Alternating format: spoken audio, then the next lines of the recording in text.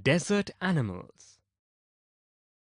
Deserts are the driest places on Earth and sometimes go for months or even years without rain. But even the desert animals cannot survive without water or for long periods in the scorching sun, so they have had to find different ways of coping with the harsh conditions. For example, gerbils spend the hottest part of the day in cool underground burrows. And strange insects called darkling beetles are experts at catching drops of moisture on their legs, then lifting them into the air until the drops trickle down into their mouths. Not all deserts are endless seas of rolling sand dunes.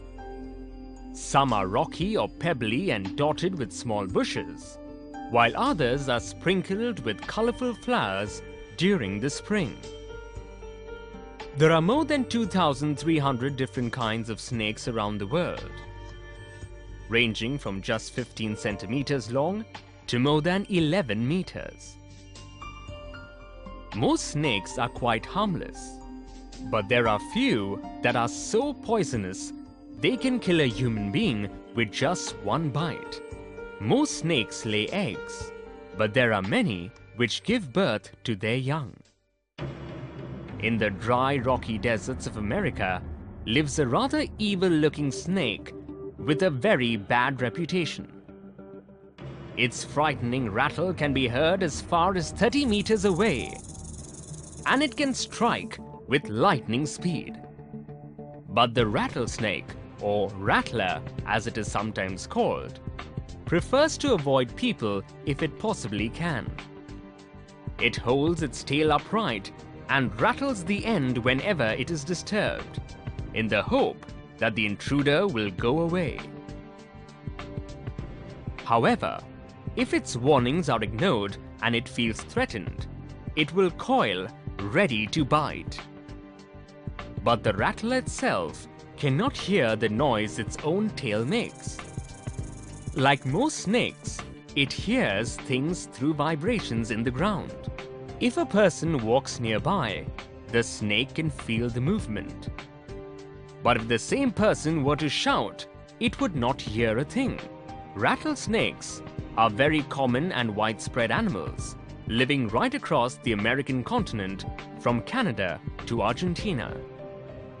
They feed on a variety of prey including mice, voles, rats, chipmunks, and many other small animals.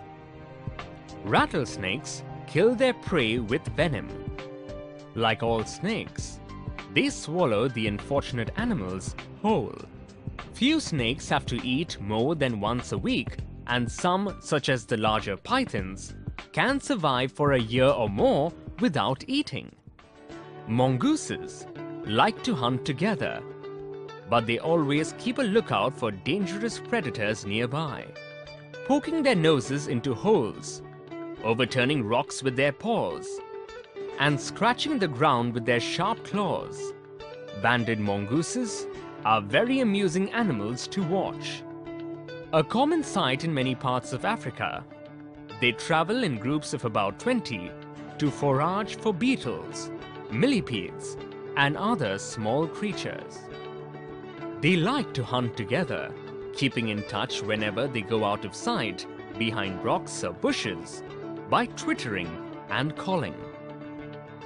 Always on the lookout for danger, hawks, eagles and large snakes, they warn one another with a special alarm call if they spot anything suspicious.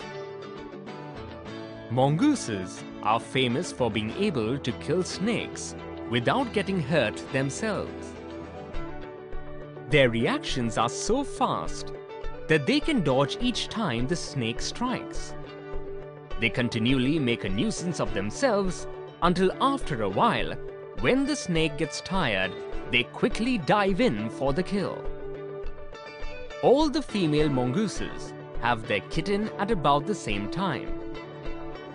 They are raised by the whole group in a den made inside an old termite mound or hollow log.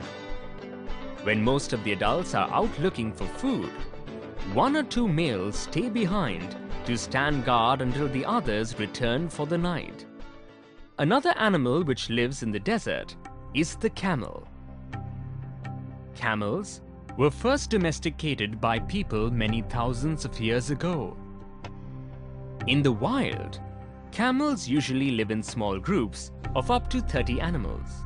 Camels have long, shaggy winter coats to keep warm, and shorter, tidier coats in the summer to keep cool. A thirsty camel can drink as much as 30 gallons of water. That's about 500 full glasses in just 10 minutes. Normally, however, it gets all the moisture it needs from desert plants and can survive for up to 10 months without drinking any water at all. There are two different kinds of camel. One, known as the dromedary, has only a single hump. The other is called a Bactrian camel and has two humps. The humps help the animal to survive in the desert by acting as storage containers. But they don't store water as many people wrongly believe. They are full of fat. This fat nourishes the camels when food is scarce. If they have nothing to eat for several days, their humps shrink as the fat is used up. There are many other ways in which camels are adapted to desert life.